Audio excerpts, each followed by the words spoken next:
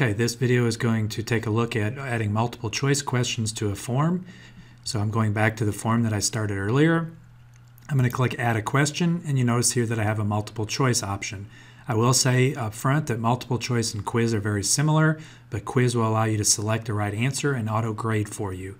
So for those of you that are working on this for a quiz, this is a great option. If you're filling out a parent survey or a student survey or something like that, multiple choice may be all you need. But for this one, we're going to focus on the multiple choice and multiple select that are both found within this choice option. So I click on that. I can enter my question. If I wanted to add an image, I could come over here.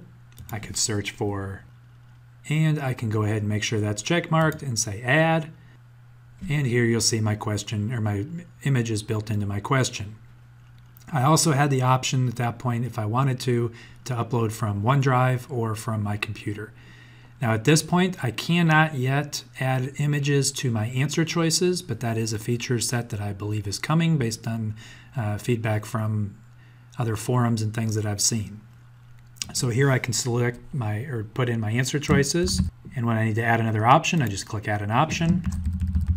And I can do that as many times as I want.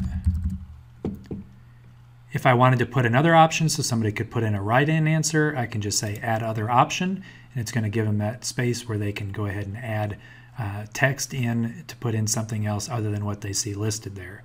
Now let's take a quick look at what this question would look like. So here you see the question is listed, what color is the sky on a sunny day? We've got our image attached, and here now they have the options to do things, and if they wanted to write in black or something like that, they could do that.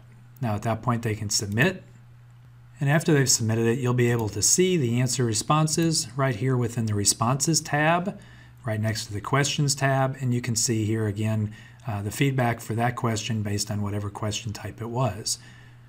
We're also going to go back here and look real quick at this question option because there is that ability to go ahead and do multiple answers or multiple select.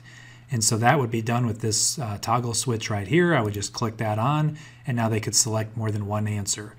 If I do that, I might also want to go ahead and add a subtitle, allowing them or alerting them to the fact that they would need to uh, select more than one option potentially. So if I do that, now I get this option for enter a subtitle, and I can type in something like choose all that apply. I can make this question required. And if I wanted to, I could also shuffle the options so that different people uh, would see different the answer choices in different orders. I'm going to take one last preview here of this one and now you see the option with the subtitle where it says choose all that apply.